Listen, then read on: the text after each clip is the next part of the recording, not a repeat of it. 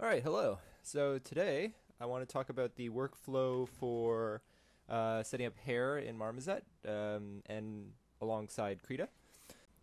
This character is Iggy. He was designed by Trent Kaniuga.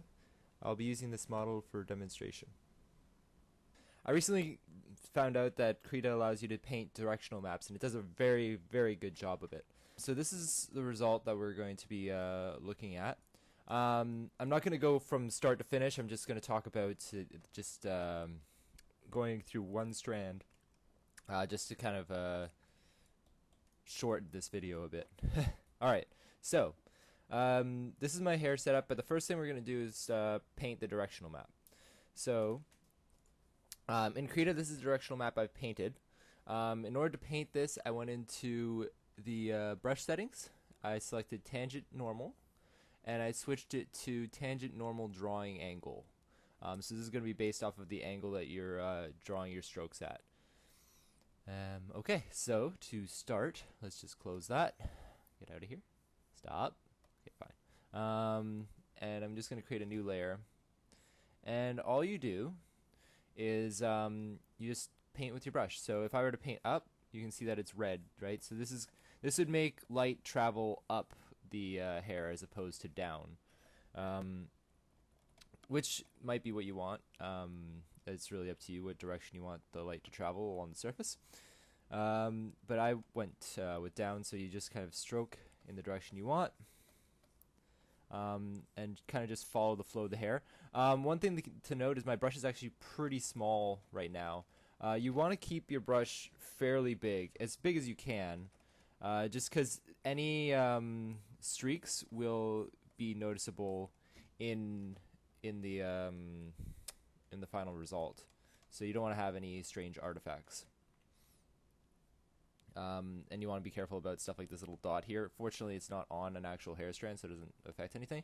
But if you, um, at the beginning of your stroke, you might want to start your stroke above um, where you want to be, because sometimes you'll get that little um, artifact in your stroke, so you can just uh, avoid that. Alright, now that we have our directional map set up from Krita, we're going to move into Marmoset and set up the hair shader.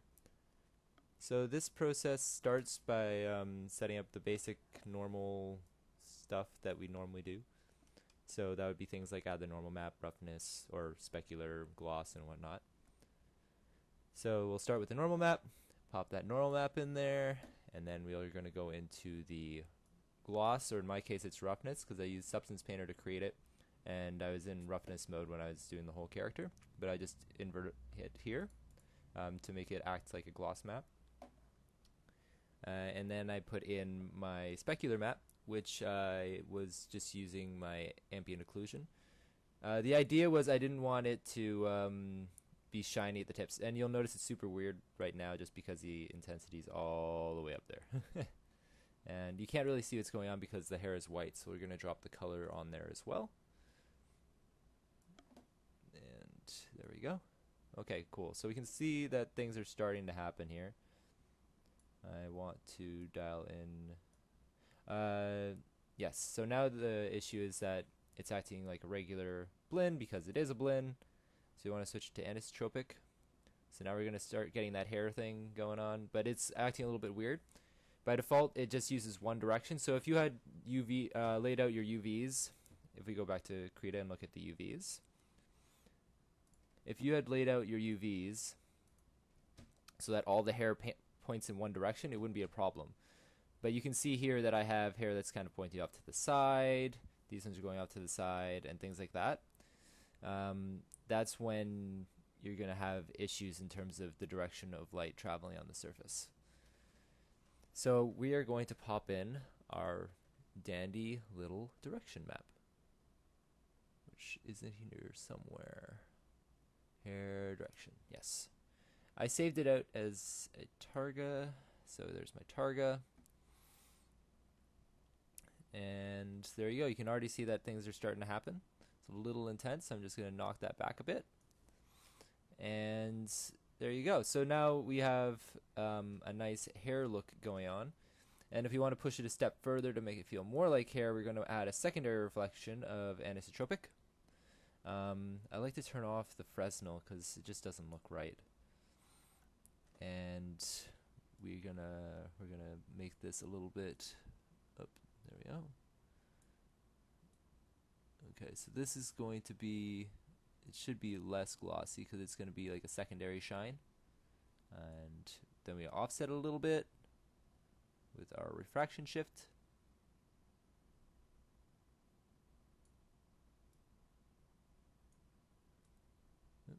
Less gloss.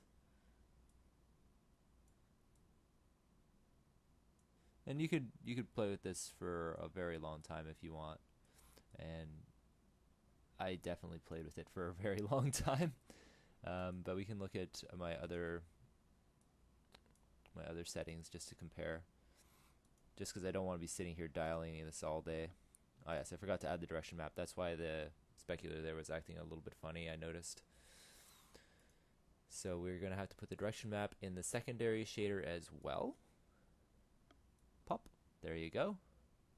And there we go. See now this is on the right side. Before this is moving upwards instead of downwards when I was using the refraction shift, so it's a bit odd. But there you go. And then you can just dial down the intensity, make it less or more glossy.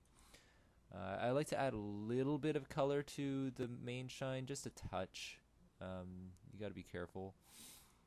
Uh, a yellow would be good. Um, some advice that a friend of mine gave me was that uh, you want to think if this is a fluorescent color, what color it would it shift to? So if it's red, it would go from like red, orange, yellow, um, or I guess that's heat or something like that. Uh, and that's it. So there you go. Hair is set up, and you have some nice flow to it. Uh, one other thing that you could do as well, I've seen, or I've done even, is add a little bit of an alpha to kind of taper off the edges so it kind of feels a little bit softer. You can also, uh, you also want to look into your gloss and specular maps. I should actually show that. Um, so I'm going to open this up right now with Photoshop in this case. We're using all the tools today. Just to keep in mind what I did here is, um, so as I mentioned, I painted uh, off the bottom. So this is a roughness map. So anything that's brighter will be less shiny. And this way I made it so that you don't get, when you rotate it, sometimes the light would, because this is a flat surface, it would just light the whole thing up and it looks a little bit weird. So I kind of uh, co- uh, covered that up a bit. And I also painted in some streaks so that you can kind of get a little bit of a breakup in this line and it feels more like hair. But uh, yeah, that's it. I hope this was helpful. Uh, we're going to just play a little animation on there, see the hair in motion, and that's it for today. Thanks for watching and stay tuned for more future tutorials.